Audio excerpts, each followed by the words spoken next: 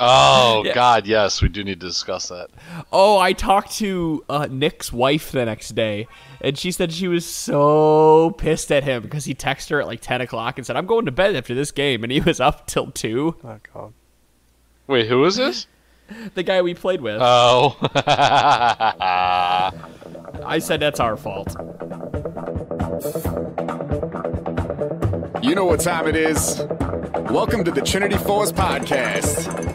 Optimus Tom, Resident AP, plays mid and his styles are shady. Got a syndrome, can't nerf it. You can find him in the chat, type of worth it. And that's Hornet, sucking in Elo hell. Thought it was going up, once again it fell. Never spent a single dime on LOL, and if you step into his jungle, expect a brawl. Ausslander, math specialist, he's precise, doesn't tolerate estimates. The man's addictive as every hero, you can tell cause his bank account's stuck at zero. And last but not least, your host pornophobia. Picks an AD carry, and he's on ya. He's got the full mount, ground and pound. Don't get excited, it's not as sexy as it sounds. That's your whole team, enjoy the podcast. Put your headphones on, we'll have a blast. We're checking email and Twitter, of course. Just don't ask us how four guys make a Triforce.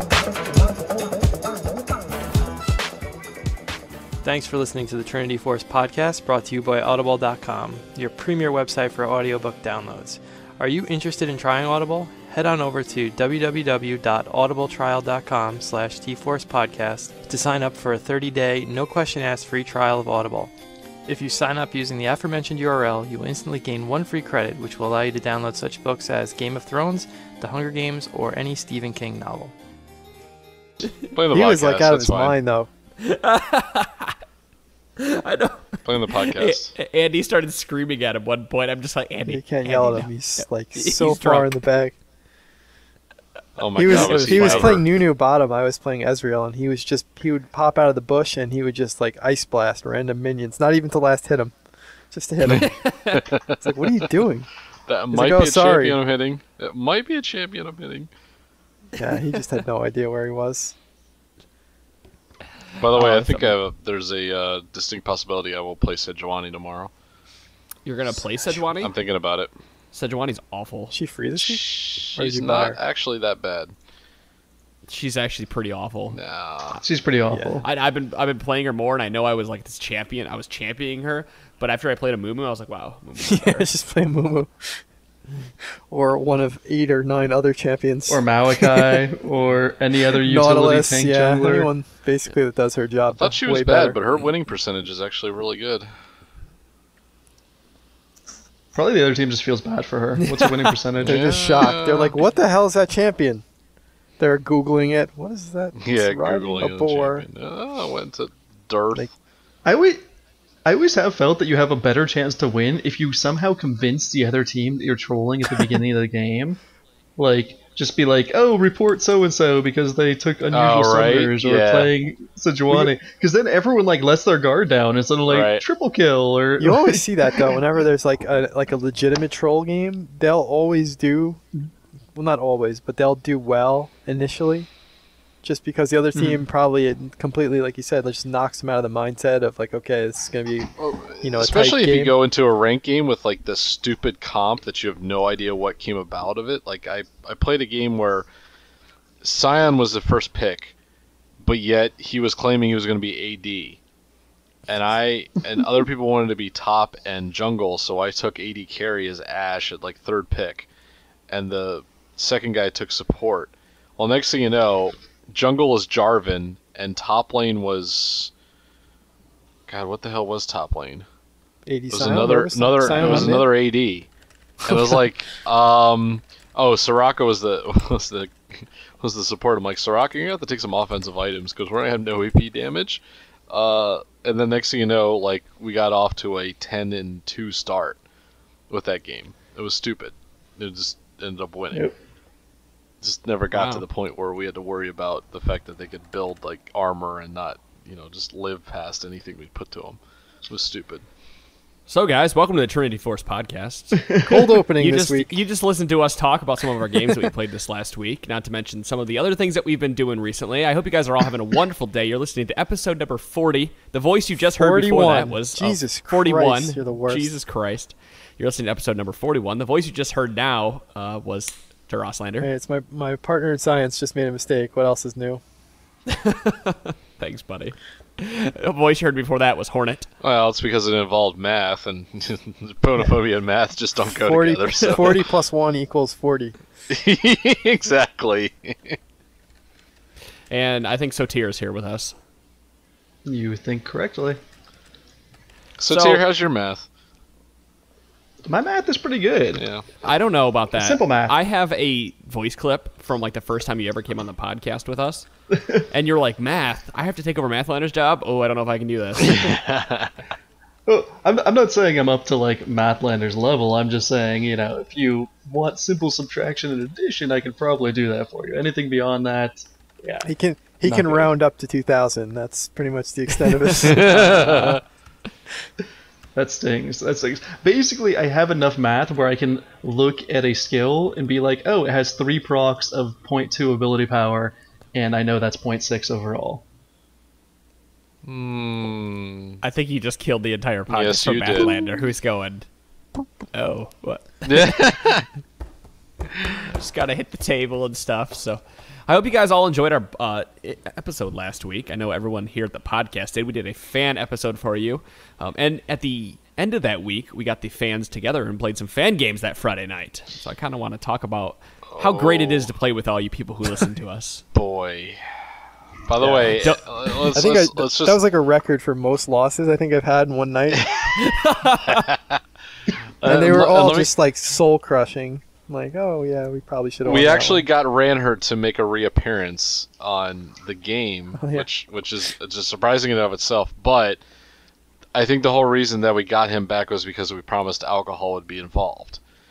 And then when alcohol gets involved in ARAMs and uh, we involve fans and um, the mixture itself just didn't quite work out to uh, winning winning anything involved with the game. Um, it was more or less uh, un, unintentional trolling of each other by the time we were done. Uh, but you know what? We gotta say we I, I had a great time. I was laughing my ass off more than anything else. And when we play this game, we play this game for an escape. Uh, and if we play with you guys at any point, uh, we promise you, you know, we'll have a good time no matter what the hell we're doing. Well, And well, well, Pone, um, myself, and Ranhert were playing for an escape. Uh, Andy's a little more high strung than, the- than the rest of us. So just you can play with us, but if Andy's playing uh, Hornet, just do not make a mistake because yeah. he will not I- let I'm it sorry. pass. There's no such I- thing as uh, okay, whatever. We're just having fun. No, no, not in Oh, my I- eyes. to be fair, I was screaming at the same time. Why would you do that? Yes, What were true. you thinking? Yeah, well- Why? well, we were- Why? We played a drinking a drinking uh, game, some kind of aram, and Yep. uh, Nick, the guy that's playing with us, I think he probably drank more than the rest of us combined. Because he was just like, I don't know, slurring his speech. He was just doing nonsensical things, and yeah, it was it was pretty uh pretty terrible. he thought minions were opposing champions, and yeah. yeah, he was It- playing Nunu in the bottom, and he, and he just kept popping out of the bush and just eating uh, eating uh, minions for like no reason, not even to last hit him. It was like, what are you doing? And he just And Oslander, quiet Oslander, who doesn't say anything the entire time. He's just thinking in his head, "What the fuck?" Yeah. I was like, all right, I guess we're eating minions now. Okay. That's okay. The night was going so well that Oslander brought out some skunky Coors Light and started drinking it, so everything Yeah, I d- was all good. I don't drink really. I mean, probably the last time I was drunk was like in 2010 at a wedding. So, um, and then we were, you know, doing a drinking game, and I kind of got peer pressured into drinking. Uh, and the I only blame Ranhert.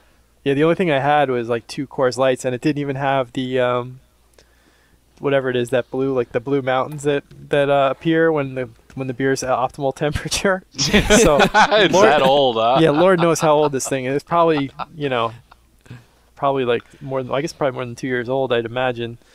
Um, although it didn't taste that bad, but although I, I don't know if you can really tell with Coors Light. Um, So, and one still thing I noticed though is water, after I was, and I have no tolerance. You know, back in my back in my youth, maybe I could I could hang, but now forget it. I haven't I haven't you know like I said I haven't I don't really drink. So, I had two beers and I wasn't drunk, but I was definitely kind of feeling it. And, but the one thing I noticed is when we were playing that like my map awareness went through the roof drunk. Like I I, you know, I was like What? un- ungankable. I just knew. the only problem is my mechanical, uh, you know, my all my mechanics went to hell. So I was just missing last hits. I was, you know, I like popped in to uh, engage on someone. I was playing Ezreal, and I missed everything. Like you know, WQ, just whiff whiff, missing by about like 45 degrees on each shot. So, but lessons were Lost Lander's trying to flash over walls, going into them. Yeah. Hey, go to Baron or go to Dragon. He runs up to Baron instead. yeah. But my map awareness. oh, I really- forgot about that. That was like uh, maybe if I'm playing support or something where I don't need any kind of mechanic. Not that you don't need mechanics playing support, but you need less than you know last hitting in lane and all that. I just need a maybe maybe like Sona, just a champ where I can just uh, you know hit three keys and hope for the best. But yeah, my my map awareness is great. So Mine you're goes- suggesting that our, you know, advice we a- gave last week is uh, need to, needs to be rectified a little bit by saying um, if you have a couple beers, maybe your map awareness will go up. Yeah, probably not. but Results may vary. Yeah, yeah, mine definitely goes way down. I'm like last hits. yeah. Ben every hits. anytime Ben ever drinks, everything goes way down. Social skills, Wow. you know, you name it. Social skills. What?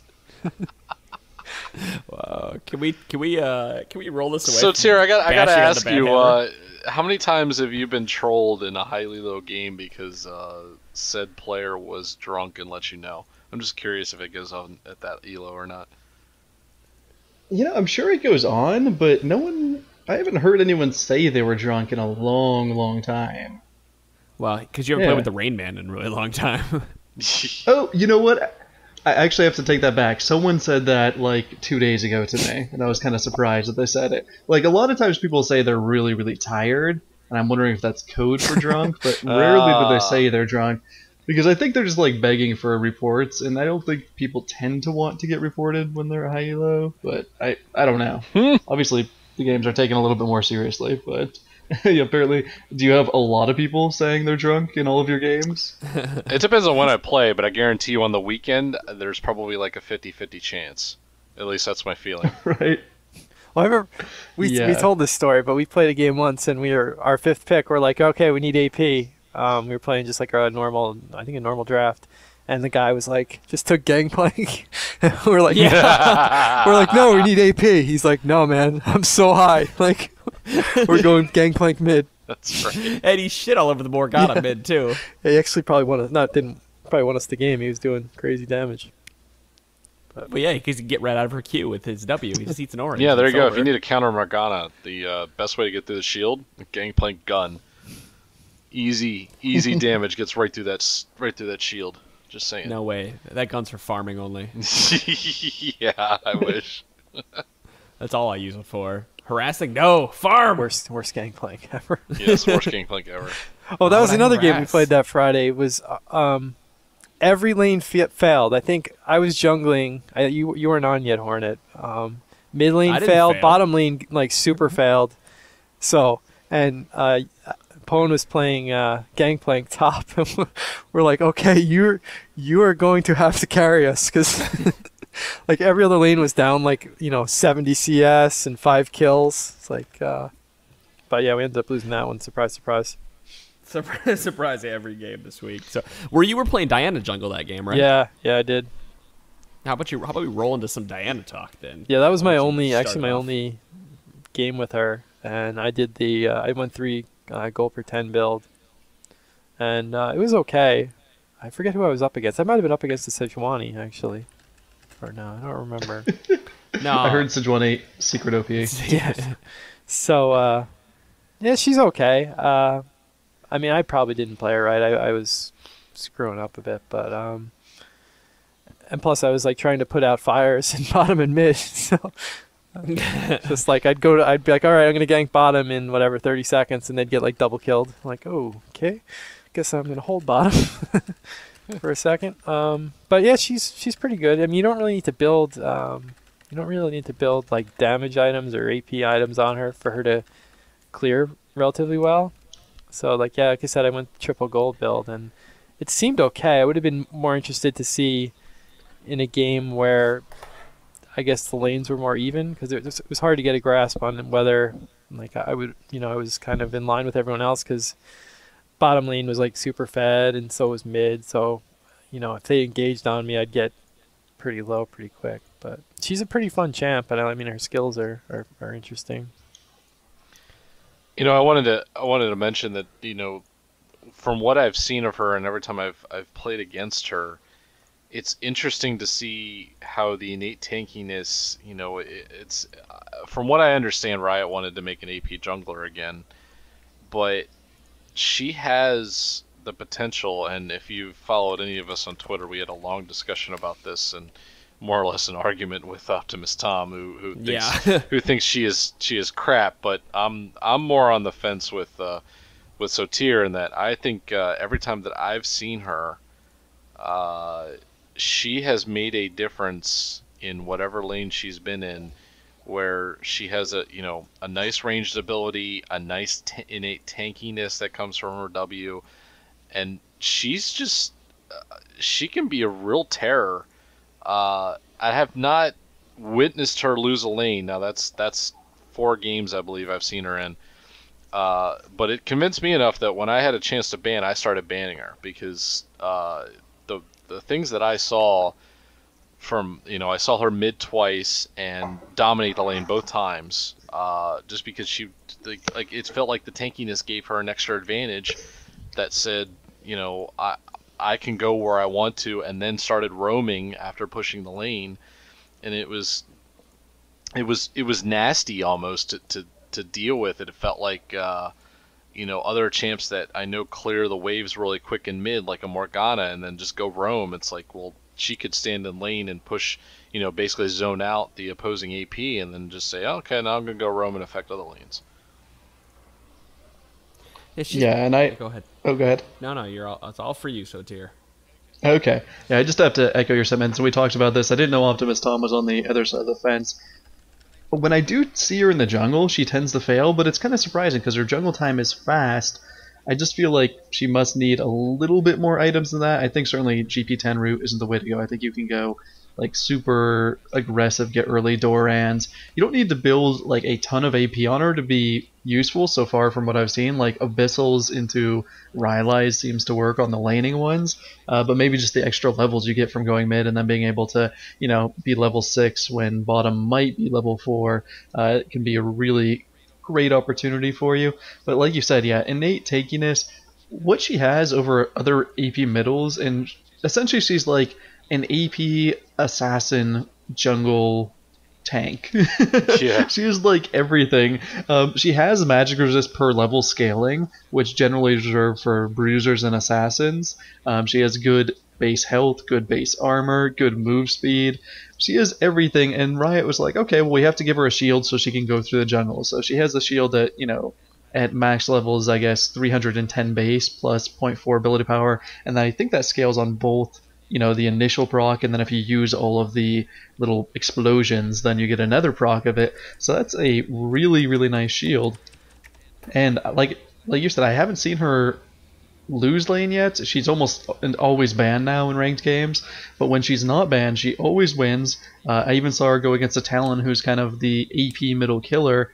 Um, and he did okay early on. She out farmed him, but then he got like three or four kills roaming around. But the crazy thing was, after he had four kills, she still fought him and like went one for one with him, which is just crazy to me. And it's not like either of them messed up. And you know, once Talon gets a couple of kills, he just like absolutely rolls through APs and AD carries for that matter, rolls through anyone squishy. Um, but Diana, like you said, has enough innate tankiness to like survive that and then put back on her burst, which is really really substantial.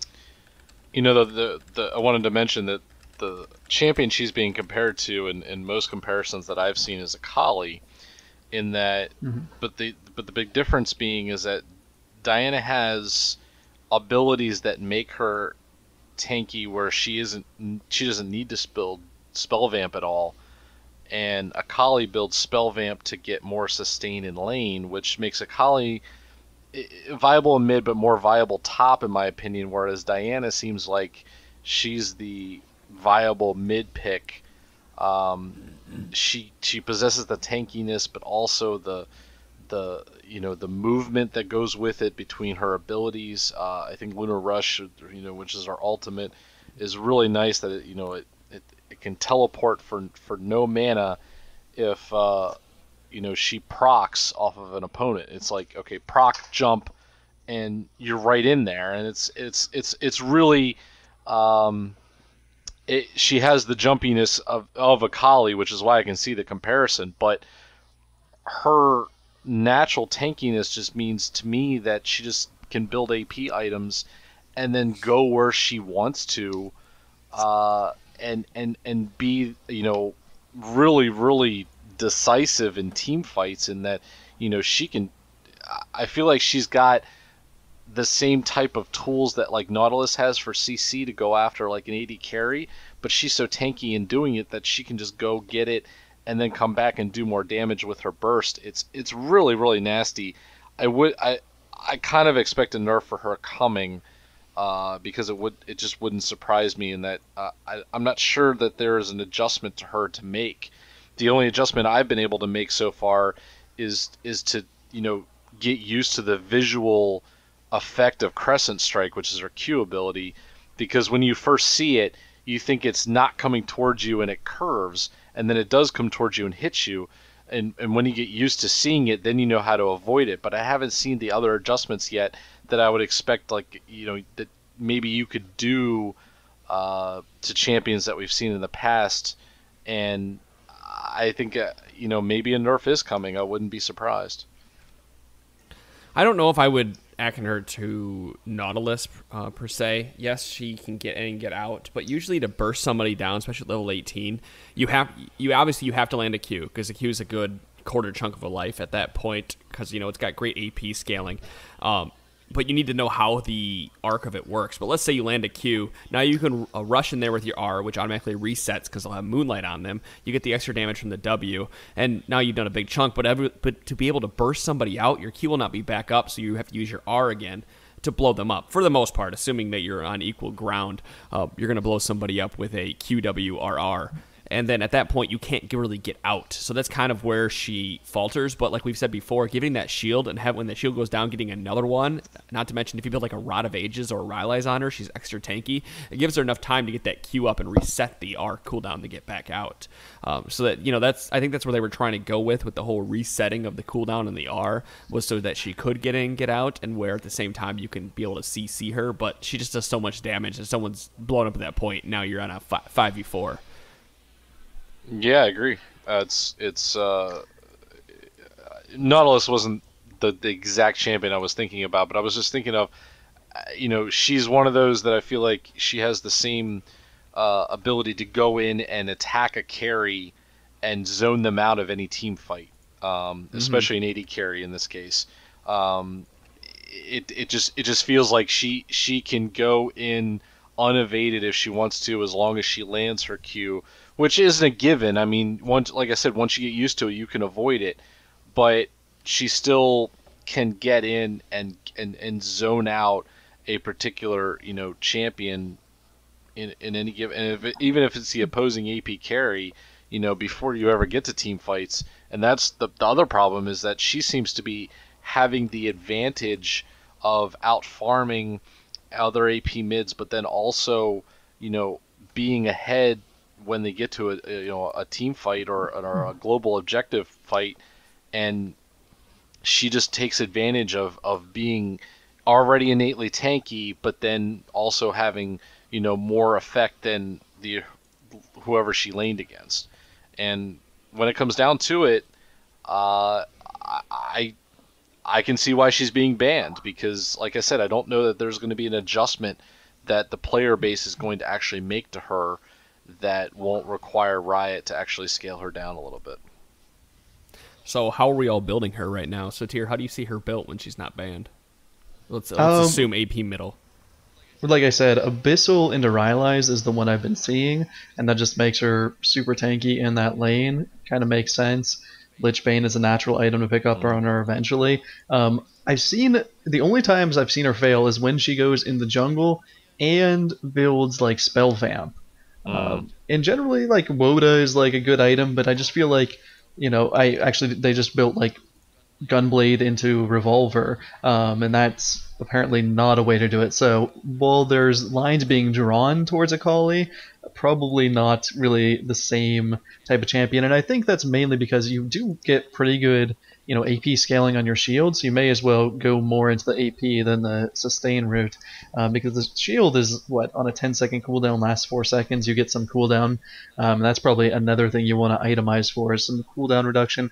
DFG has also been super popular on almost all AP mid champions lately, um, but certainly with her as well, she's going to really benefit from the cooldown and from the extra burst that that Deathfire Grasp is going to give her. I, that's the same thing I've seen. It's the, it's the same type of build, especially Rylai's. Um, anything that gives her, you know, more tankiness, where she uh, has an ability to get through, you know, any kind of burst damage that's initially put on her. Uh, I've also, you know, some some cooldown reductions also, uh, you know, definitely nice. Uh, I haven't seen it, the funny thing is is that of all the games I've played, none of them have actually gone to a late game uh, to see any effect because I've seen Diana have level advantages from getting an advantage early in the game against whatever she's mid, you know, played against mid, and then uh, it just it just hasn't made a difference. I have not seen her in the jungle yet, and I was thinking about picking her up to try her, but then I started to see that it didn't seem she was going to be the um, AP jungler that maybe Riot wanted, and I'm not so sure that there's going to be an AP jungler uh, unless they can really figure it out. The Riot that is to, to an AP an AP jungler is going to need some kind of uh, engage like a, like the Nautilus has with his Q or Diana has with his with her R, but she needs to have it from levels one to five to be able to jungle properly. Either that, or she just needs to be very quick and I mean, you, you would think Diana very quick can counter jungle. Maybe we just haven't found her. Maybe she's like a Shyvana where she just needs to go and counter jungle the entire time eh, because she can clear waves so quickly. But then she's going to need blue to do that. Yeah, but the thing is, is that you know the counter jungling is, is so effective between Shyvana and Nunu in the current meta that uh, you know there's no reason to pick up Diana to do that, especially when it, it seems like you want Diana to get the early advantage, get the AP tankiness going, and then she affects lanes better by being a mid laner who pushes the, you know, pushes mid lane and then goes and roams. Um, you know that seems to be where she's had the best advantage of anything, and uh, you know it hasn't worked out that way in the jungle because it doesn't seem like she has enough ability or is able to grow enough from just jungling to be able to affect lanes as well. Yeah, I don't know what's wrong with her jungle. I, I mean, I've heard she clears it really fast. I've not played her in the jungle, but I've heard she clears it really fast. It's just maybe she just doesn't dominate the opposing mid lane carry, which she seemed to do every single time I've seen her in the matchups. And I look at, you know, why is she dominating these matchups? You know, she's melee, she does have good ability power ratios, but she has low costs, and that's another thing. If you have an AP jungler, you know either they're going to have to be no cost to get through the jungle or low cost to get through, um, and not be super reliant on blue buff. And so I think maybe they had that in mind. Oh, we can't you know always expect Diana to get all the blue buffs because the meta has changed where the AP mid gets the blue buff, so let's keep her cost pretty low. And they do seem very very low um, for what they do. Um, and yeah, beyond that, like I don't know why we want an AP jungler. We have Fiddle.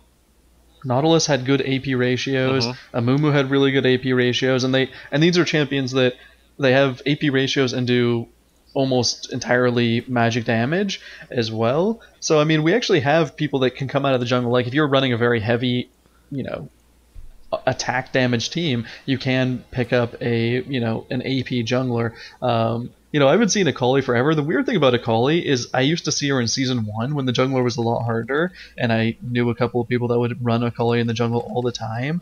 Um, so I assume that still works now, but I just haven't seen it in forever. And I think maybe it's the same thing. Like if you're playing an assassin champion who is good at laning, then put them in the lane and let them dominate their lane, and then let them roam from there. Yeah, I completely agree, and, and, and it's a feeling that y- yes, you can do fiddle in the jungle, but I'll be honest with you, I, fiddle in the jungle just has been weak since they remade the jungle a little while back, and the the fact is that fiddle can't really doesn't really have a good multi-target DPS. The single target drain is nice, uh, but the multi-target damage just isn't that good overall. And so Fiddle can jungle, but he does it really, really slow. And you've actually started to see where Fiddle is being played in the mid lane, uh, not at a tournament level, but uh, you know you've seen it at other levels. I, I think I think Sushi tried it at a tournament level game one time and got absolutely crushed uh, in trying it. But um, you know, you, you see him in the mid lane, and he's really he really can be effective in the mid lane as well. And I think that's the one problem that the current meta that Riot has is, you know, they want to give an AP jungler the ability to do you know do things in the jungle, but and be effective, but not have them have AP ratios where they're so effective in the mid lane. And I think Diana is an effective this. I think Diana is you know an AP jungler that now we realize oh look the AP ratios are really high. It, it reminds me of you know when Lulu came out as supposedly a support, but then you realize that the AP ratios and and plus some attack speed, and she becomes a dominant force in the mid lane all of a sudden. It was like wow, you know it was almost like mind blowing how how you saw Lulu come in the mid lane. And you're like, what the what the hell was that? And then all of a sudden, the burst damage was just was just nasty. And so I feel like it's the same thing. You know, it's Riot's trying to get there, but it's hard to do because of you know the other ways that we've played champions before. Yeah, I mean, I I don't know that Fiddle is really a bad jungle choice. I mean, he is a little bit slower, doesn't have that AoE clear, but does have pretty good late game presence for a jungler. We also saw Voyboy run him a little bit competitively, and I forget when exactly that was. And he didn't do very well because his ultimates were kind of off, but in lane they picked him to dominate a Vladimir top, and that is a champion that uh, that Fiddlesticks really does dominate, is Vladimir in lane. So uh, the more we see Vladimir, maybe we will see another pick of Fiddle top lane uh, because certainly he did do his job in those games if Voyboy played him in dominating that lane. Um, just kind of throwing this out there as another AP jungler. Skarner does a lot of AP damage and has a lot of AP ratios as well. It's it's it's weird because you're like if you want an AP to come out of the jungle, do you really want like an AP or are you looking for like a burst assassin? Like do you mm. want an hmm. Annie to come out of the jungle? Because everyone who goes in the there's like a reason the meta has evolved. You don't get as many items in the jungle, uh, you don't get as much farm, so you tend to have to put those into tanky items. Um, so I don't know when we're going to get to a point where we can actually have a champion that really you can afford to have them just you know rely completely on burst, and that's kind of the fiddlesticks problem. Is like he's all you know front loaded damage, wants to get that crow storm in, but he's not going to you know last very long unless he gets his Zhonya's hourglass, and then he's going to last two more seconds. Maybe there's just an innate problem with uh, most junglers need to be melee. I mean, we we've seen it where there's some ranged, you know, ranged ADs that are able to go through the jungle. Um, I know we've seen almost every ranged AD be able to do it, but maybe maybe it's a problem with being a ranged AP. I mean, Fiddle might be the only one that has range that goes through the jungle, and I can't think of another one off the top of my head. I'm not coming up with it as I go through, you know, looking at the champions themselves. And maybe that's the problem. Maybe it's just the fact that, um, you know, another thing is is you know we want to the jungler has to live off of not having all that many items. So you know, do they have an innate tankiness that goes with it, or do they have uh, good utility, good CC? I mean, the big the biggest thing in the the latest meta is the CC that goes with it uh, is so huge to have because if you have tankiness plus CC, you're able to affect team fights more often. Uh, I know that's what you know uh, a jungler like Snoopeh looks for is he plays almost all utility champions that have the CC or have an ability to help his team in huge team fights. It's the same thing. I think Odd One does the same way. Um, you know, looking looking for you know effect in the game, but also uh, you know an overall effect as to as it comes to what's the word I'm looking for? Like a looking looking to affect the game with your utility, uh, but also you know with good ganks and also with tankiness. It's it's a it's a strong combination. It's like the Nautilus, Shyvana, um, Skarner, like all of those champions seem to Maokai. They seem to match that same thing. I think you might be onto something with the range though, because if you go for a gank and you throw out one, your your range is let's say you go top lane, your range is only going to really help for the uh, a curvature from when you walk out of the bush in the river to where they make it to the end of their bush in the top lane, because there comes a point where you're just not doing enough damage because you have to throw your attack, walk a couple steps, throw your attack, walk a couple steps. While if you're playing like a melee, you're getting an extra attack in there every time you take a step because of you know how quickly you attack and how close you are to the champion. Now you can make the argument that when the person gets farther away from you towards to the turret, you can you know get that attack off as they walk in there. But being able to walk up and stay next to that person the other ti- uh, entire time, getting your slows off, getting your moves, and not having to worry about you know landing spells for uh, per se. Like Skarner just has to walk up in melee range and kill you, and you're permaslowed. So now he gets a ton of attacks off, and you're permaslowed at that point. While Fiddle, all Fiddle has is a fear that lasts a uh, second or 2 so you, you know you have to do all your damage up front, and then they have their time to get away, assuming you didn't get a red proc in between that. And how many auto attacks is Fiddle going to do, and how, what's your chance of getting a you know a red proc in those two hits? Yeah, I agree with you. I, it's it, I don't think there is ranged AP in the jungle, and maybe that's the next thing that Riot will look at. Um, and it, the other thing is, is I don't think there's any options for that. Um, you know, there's not, there aren't that many ranged champions to begin with when I think about it, but you know, you're just I, I'm looking looking through all the champions that I can think of. Um, you know, I tried Ryze in the jungle. That you know, there's a tanky champion that doesn't quite work out.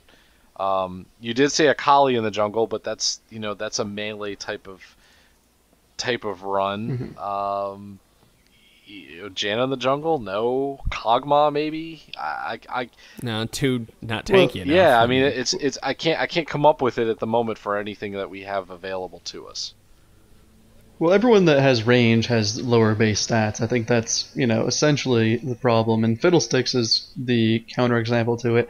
Um, if we're thinking of another AP champion that can actually jungle pretty decently, Gragas is actually pretty good at it. Um, But but he's also melee, so I mean that doesn't solve that issue. But I'm, I'm just like I'm confused as to why it really wanted to you know hammer down this niche when it's really just a factor of okay, are you going to give them you know tankiness? Are you going to give them AoE clearing capability? Um, you know, are you going to give them a way to get around the jungle faster? Um, so yes, they've done all three of these things with Diana, but they also have all three of these things with Gragas. Um, for instance, I mean, he has good AoE clearing capabilities. He does body slam, barrel roll, um, has you know more sustain than most, more tankiness than most mages, um, and he can get through the jungle with body slam as well. But you know, why play him in the jungle when you're not going to get the amount of items you really need to really be an AP carry um, and really like blow people up? Because Gragas needs, you know, that Death Cap, that Zhonya's, the Abyssal Scepter, so he can really, you know, throw a couple barrel rolls out and have them be super effective. Um, so I think that's where the issue is. If, if you're going to make a champion for this role, it's going to be better when it gets twice as much farm in middle. Right, and I and I think that'll be the overall issue is no matter what champion you try to make for this this particular role, it's going to be better middle, and that'll always I think be an issue. Like it's never I don't know that that this, that is ever going to change uh, throughout the current meta, and I don't know that we should even uh, if Riot should even bother going to that niche. I agree with you on that. And speaking of which, I'm going to jump over uh, to another topic while I'm, while we're discussing this, and that is what happened at IPL Face Off this past weekend. Uh, which, by the way, I do want to give a lot of credit to IPL. I think they ran a great tournament. I think they had some innovative ideas for how a tournament arena can be run. Um, it may not worked out when they tried to listen to team chatter over top of their speakers uh, to say, you know, look at what they were thinking about with picks and bans because they could hear that. Um, but it was it was they were all neat ideas, and I like what they came up with as far as running the tournament goes. Uh, spoilers alert! So if uh, you're listening to us and you don't want to know the the finale of it or still watching the videos or whatever, uh, you might want to pause this. But uh, TSM dominated the tournament. Um, I didn't feel like they were ever in jeopardy of really truly losing a match. Um, that it was it was not necessarily shocking. The only shocking part to me of the entire tournament is that World Elite and Singapore Sentinels didn't do as well as I expected. Um, I was actually expecting those teams to show up and bring some true flavor in that and and true team comp as they as they would put it together. Especially watching as World Elite had advanced through the OGN, uh, you know, uh, through the round of 16 in the OGN uh, Summer Series. I expected them to come in here and be able to dominate some of the North American teams, but instead there were some other surprise teams that came through. It was a fun, it was a very fun weekend of games. I'm very glad uh, we got to see the Asian teams play. Singapore Sentinels and uh, World Elite got to play this weekend, and I know uh, Singapore Sentinels actually came out of there with a couple of interesting team compositions. Hmm. Um, I now correct me if I'm wrong, but Singapore Sentinels ran Karma mid against TSM, and they ran Yep. Mundo top against TSM. I want to say as well. They ran Mundo top a lot Yeah. against multiple opposition, and I'm pretty sure it was yeah Karma against TSM. Yep, yep. We saw the Karma pick going against uh, Reggie. They ended up losing that game. Unfortunately, I was uh, watching the game and I had already thought I had uh, wrote TSM off at that point because they were just down so far and getting raped. And so I was like, I'm going to bed. And I wake up in the morning and find out they went two and zero against Singapore Sentinels at that point. And I went, what? You That was the only game where, and I, I didn't actually get to get to see that game. I only heard about it, but that game was was the only one where it was a real surprising result. Although I will say, uh, Curse went off against Legion in the losers bracket finals, and that went to a best of three series. In the third game, it felt like Legion had full control of that game, and Curse Right. stuck with it. Um, great play from both Cop and Nyjacky, I felt like. Um, I felt like Nyjacky was a real, real beast in this tournament as a whole, um, especially on his Morgana, which uh, I think uh, even even TSM let him have Morgana in the first game. and was kind of upset about it, so they took Morgana instead, to not to deny him having Morgana in the second game of, of their final match. But it was it was it was definitely the combination that I was surprised at. Um, that it was three, uh, I think it was four North American teams, if I'm not mistaken, that ended up being in the top four, and I was absolutely shocked by that. Uh, it felt like Singapore Sentinels had kind of rolled over versus MTWNA.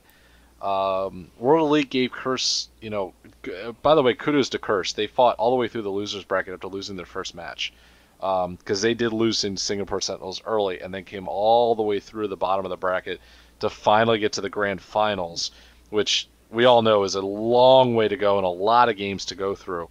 But they fought through. They looked really good. They lost to Team SoloMid at the end, who, like I said, looked looked fantastic throughout the tournament. Um, but it was it was like I said, I was most impressed with the innovative things that IPL brought to the tournament scene itself. Um, the casters in between the sets of teams playing against each other, I thought that was an, a neat little approach. Um, I thought the approach to actually listen to what teams speak, you know, what teams were saying, which isn't something that hasn't been done before, but to actually do it during picks and bans, I thought was a great idea. Um, it gave the casters also something to talk about, which, you know, as most of us being casters, that's actually something I appreciate. Give us more things to talk about and more interesting things going on that's going on in the game. Um, just some appreciation things that I can give IPL a lot of credit for. IPL did a good job this week, and there was a few things that I'd like to say about IPL, things they did uh, poorly on the first, and it's just little things. Like on the first day, it looked like they forgot to turn on the light bulbs with some of the cast, uh, some of the interviews. they looked like they were casting in the dark, and I don't, I don't know, you know, obviously what was going on there. Maybe it was the feed they were coming in here, but I think it was just a few aesthetic things that I had a problem with. It wasn't so much, it wasn't the casters and it wasn't the interviews, like the quality interviews. It was just a few aesthetic things, and um, I, I, I could tell by the second day that they had heard it from everybody and they fixed it because by the 2nd day they were in full light and people were talking clearly and people were, you know, taking everything very seriously.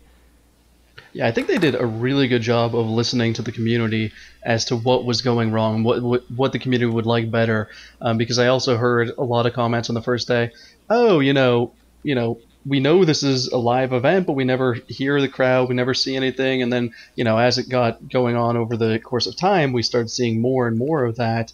Um, so that that was really nice to see. But it's still you know, comparing it to the MLG Arena event wasn't really up to that standard. So would like to see a little bit more. Uh, But I mean, you can't have everything, I guess. And they did a good job. It was a good tournament. It was fun to watch. Um, I think the issue we're all skirting around, or perhaps maybe you guys aren't even interested in this, is Legion had such a great showing this weekend, and you know, we're saying, oh, no one really gave TSM problems. Legion did give TSM problems, especially in their in their first game against them. They really, well, actually in both games, they really outsmarted them in the level one play, and really had some like good strategies going into the level one game. Um, but then there were just some things. They were actually like too reactive. For instance, Cruzerthebruzer roamed from top lane to help, you know, get a kill, equalize a kill in middle. But then he was so far behind Vlad's farm that he couldn't go back and lane against him, and that completely, you know, shattered the game from him. Demon Lowell got a little bit behind on the CS behind Chaox, which is understandable. Um, but you know they actually had an early advantage, so it would have been nice to see them hold on to that advantage, perhaps get a farm advantage as well. But overall, they played a great tournament. Uh, they ended up in third place. They did lose a nail biter to Curse, which it seemed like they were ahead of Uh-huh. um, throughout that almost the entirety of game three. And I was, you know, watching it. I was like, oh, it looks like Legion has this in the bag, and then they didn't suddenly. So I mean, things like that do happen. They were also playing with a sub, and then you know, I guess somewhat interesting to note tonight they also played in a an MLG. What was it called? Showdown Prize MLG prize fight, right? Prize fight, and they went 2-0 against TSM. Um, and this More time they had wild. alert. Excuse me. More spoiler alert. Yeah. No, no spoiler alert here. My apologies. But yeah, they went 2-0, and they actually picked up Niantinso, and they still had Wild Turtle as well. Um, so I don't know why Niantinso was subbing. Presumably Demon Lowell wasn't available. But they had Demon Lowell a missed his great... flight in San Francisco. oh, really? oh, yes. Oh, I don't know. You didn't, probably didn't see the tweets today. I think Oh. tweeted at Scarra. Ah. Yeah, let me let me let me let me jump on this real quick because this this is going to lead Go to for it. another discussion point that we we really need to get to. I need to know why our this this latest generation doesn't understand the importance of making a flight. Okay. Old I and what I mean is by yeah. not missing your flight. When you get to a flight, you are supposed to be at least 90 minutes ahead of time, sometimes longer if you're at a bigger airport. You know why? Because you have to check in your bags, you have to get through security, which is absolute pain in the ass. I understand that. But you go there prepared. You get there early. You don't try and rush it at the last second. I can understand doing this for other things in your life, but when it comes to airlines, you don't do this. You get there on time. And so I had to, I, you know, we heard, we, we started to hear, all Demon Law had missed his flight out of uh, the Out of San out of San Francisco. And the next thing that, that came to my mind was, what is it about League of Legends professional players that they can't get their flights on time? And I've also heard this. Uh, Froggen's missed flights. Um, I've heard other players who have missed flights. I know oh, Candy Panda is another one who's done it a couple times when he was at SK. He missed his flights. And it's like, yeah, and Scarra was the big uh, one. uh, yeah, was and, the and then first so ones, that's right? why if you saw my tweets today, I tweeted at Scar. I said, "Why do League of Legends players not prepare for flights accordingly?" Because I can tell you, the former generation doesn't do this. Oh, This Jesus is only Christ. the current. This is only the current generation. Yeah, nobody, uh, nobody in our generation's ever missed a flight ever. Oh no, no, no! They've missed flights. Don't get me wrong, but they actually And to your actually music isn't as good as ours either. Our music was so much better than yours. This crap you call music today? Oh my god, it's the worst. Yes, mm. I, It's the synthesized auto tune crap. Oh, oh, my Get I mean, off my lawn. My boss just reamed me today because I had that on while he was talking about Frank Sinatra. So, yeah, uh. I, I almost ripped into Frank Sinatra right in front of him just for the fun of it. But no, it's it's just the fact that that there is maybe it's just the fact that it's League of Legends players that that League of Legends pro players that are doing this. Well, maybe they're all young and everyone's an idiot when they're young. You know, everyone Yeah. everyone does stupid things and Maybe are, is so, but- irresponsible. Did you miss Did you miss flights when you were younger? Well, I mean, I didn't fly that much, but no, I, I wouldn't miss a flight. I- But I'm Well, sure I did other. that's a I good am point. sure I did other things that uh, you Yeah, know. I oh, can I'm tell sure you did oscillator other stupid stories. things. I'm sure we all did stupid things. I understand that point of it, but I didn't do stupid things that cost me like a thousand dollars because I missed a flight. You know what I mean? Like, I guess I I expect better. I- I mean, I missed college tests, you know, for because of poor timekeeping and stuff like that. You know. Would you oversleep it? No, you know, just get caught up doing something or. Um, or someone. let's, let's keep this PG here, folks. Uh, but um, yeah, you know, just just being uh, you know, an irresponsible kid. Now, granted, you know, he's this is like a job for him, but he's he's he's still a kid. I mean, I don't know. I just Yeah, I, I don't It's- think like getting this irate about it is you know just kids. You know, everyone does dumb things when they're young. And Uh, it's they not that don't- I'm getting.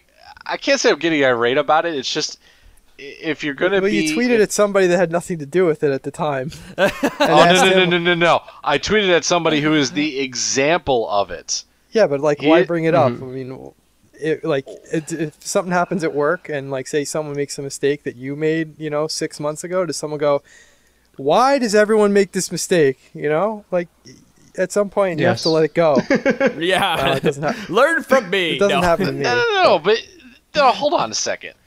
I I say this as someone who I understand doing things dumb when you're young, but then the other part of this is, and, and we we have a uh, resident Holy Spork is by the way. The, uh, I wanted to give a shout out to him for uh, we were discussing this with him today. It's it's just the fact that it's maybe it's just the the flat irresponsibility of it is just is just mind blowing to me. That oh, we're now we're yep we got to shell out another thousand dollars to get the next flight that'll that'll go out because we missed our first flight. Like I- don't know. Maybe maybe there's just a lack of um, professionalism that I'm expecting in League of Legends, and and that's that's as a whole. So then this topic comes up. I, I think I spoke about professionalisms last week, or maybe it was the week before, but I've spoken about it before. I just expect better. I expect better from from players and teams to to get their act together because there's a shit ton of money involved here. It's not like there's a little bit of money involved in season two. There's two freaking million dollars to go along with the other three million dollars that went out in prize pools elsewhere. And Well, I now mean- season three is coming. Why? I mean- why? Why do you expect it though? You're like a sports fan. That's that's. There's just example after example of people in sports Because that- that's what Riot wants. So and, if Riot and like for this, instance, the NFL doesn't want that, or Major League Baseball. I mean, it's just I think it's it's in every every walk of life that people are irresponsible. People do dumb things.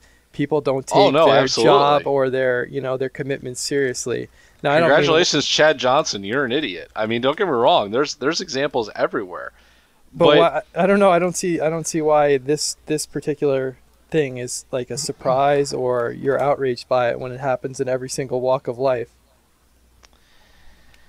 Yeah, I have to I have to say something along those same lines. Like Demon Lowell missed his flight back home. He didn't miss it to the tournament, so that's a good thing. That's a great thing on his He's at least side. It's a great thing on his side, but he misses the prize fight tonight. You know, like okay, so there's Yeah, something I mean, else to go along with it. But his team won, so I mean, yeah, there you go. okay. So after the fact, it makes everything okay because your team won anyway. Yeah, it's like one of those things. Never, never does. call in sick to work because they'll they could realize that they don't need you. yeah, exactly. Basically, Demon Law But- was a uh, you know experienced that tonight. Like, oh well, I'm not gonna make it. We'll just win without you. yeah, we beat TSM without you. Uh, maybe we have a better player besides you now. I mean, he just. Oh.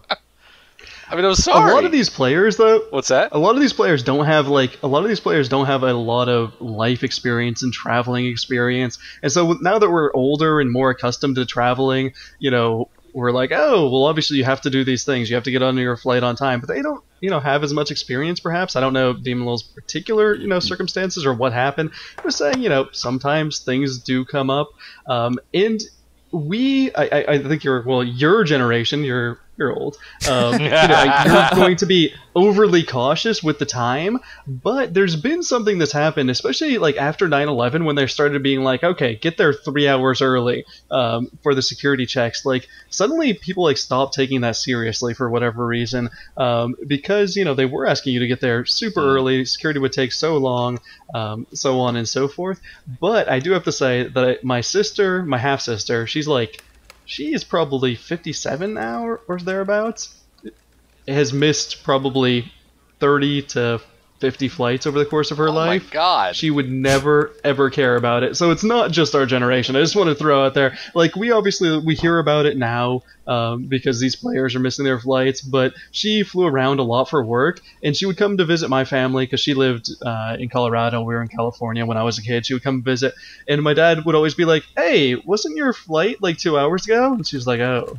Uh, I'll reschedule it. So um, certainly she flew around enough that actually she had preference and probably was not paying a lot of extra money to get that flight changed. But regardless, same thing happened where she just got caught up in doing other things and just missed her flight. So it's not only our generation that has this disre- disrespect for schedules and flights. It's always been happening. Now, now though, when it happens, we hear about it on Twitter. Like Right. now, Yeah, every true. time anything goes wrong, we hear, you know, in detail about what what's going on. And of course, we're now involved in another scene, another sports scene that's getting a lot of coverage. Whereas, you know, people go about their daily lives, you know, 30, 40, 50 years ago in your case, Hornet, you know, no one cared if they made their flight or not. Damn. 30, 40, Now you- 50 now years you ago, they, cla- they couldn't fly, so. yeah. Did I just get classified as an old fuck? Holy shit. Yes. Uh, no. You, you've been shaking your stick, oh, your rickety old stick at kids all day Yeah, long. you're, all night long. old when you start saying you young generation. My generation didn't do that. Uh, You've been you've been on the porch with your shotgun this entire damn day. right I have. I'm Gran sitting Torino, on my rocker chair, ready to just explode. Shoot at somebody. well, why don't we explode this podcast into next week? Because uh, I gotta I gotta get this wrapped up so we can get this out the door and to our fans so they can listen to the old fogies talk about you kids that are listening to the podcast. Now, if you want to hear any uh, stories about the depression from Hornet, uh, give us a call at 203 494 203 493 6723. Uh, You can also text us at that number, or you can email us at feedback at trinityforcepodcast.com if you want to hear all about the Civil War. Um, just uh, Hornet will get back to you on that one as well. Or you can follow us on Twitter at T-Force Podcast or GG Chronicle. Oh, by the way, guys, uh, I know. I hopefully you're all still here after you listen to that. Call to arms this week. I am not posting this podcast on Reddit this week. So if you are listening to this podcast and you feel like you want to support us, you enjoyed the show, go ahead and post it on Reddit for us. I want. I'm gonna do a little experiment here and see if we get posted, and also see if if someone else posts stuff, if we get upvotes as well. So after the whole fiasco went down with the moderators and the new rules and everything, I want to give the next couple podcasts a try by letting our fans do the favor for us. So there is that. Um, so that'll, that'll do it for this week's episode, guys. Thank you so much for listening. Uh, please join us around. We will be doing Sheen Procs. I promise it'll be coming up again. We've just had some issues trying to get pros around that we had talked about earlier in this podcast. So uh, it'll be back, I promise, and we'll have a number of interviews for you. So don't forget to check out League Nation whenever that finally gets around and go visit ggchronicle.com. So that'll be do it for this week. Later. Now I'm not cheating, but I might as well, cause that's what you're thinking. I will be on the night shift. I won't be home till late, my sweetie. And if I don't make it home by morning, I could be cheating. And she had me all wrong. I was just working graveyard. I didn't get home till late, my darling. But if I wasn't back at the house by the morning, she acted like a woman scorned. Like quit the night shift, cut down working. I stop wondering, I'll stop flirting. I'm not cheating, but I might as well, cause that's what you're thinking. I will be on the night shift. I won't be home till late, my sweetie. And if I don't make it home by morning, I could be cheating. And she had me all wrong. I was just working graveyard. I didn't get home till late, my darling. And if I wasn't back at the house by the morning, she acted like a woman scorned.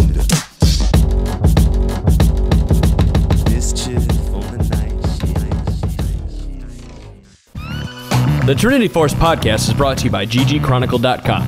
Esports news, coverage, opinion. Join the League of Legends community at ggchronicle.com.